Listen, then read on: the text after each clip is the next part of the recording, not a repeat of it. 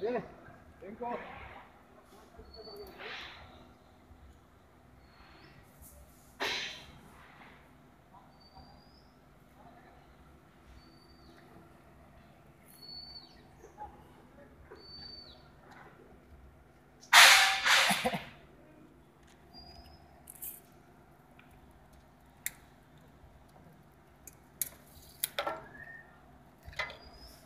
direct tape लाने को बोलो बिल बैंक